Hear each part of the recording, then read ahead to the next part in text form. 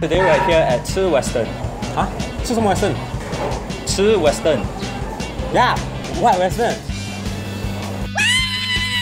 The store name is Chi Western. Oh, it's the name. Enough talking. That's it.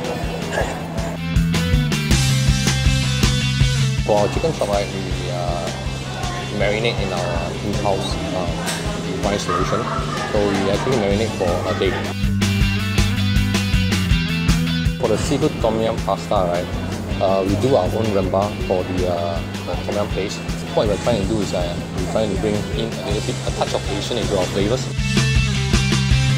For the uh, steak, right, we are using New Zealand grass-fed beef. Black pepper sauce, right, we do ourselves.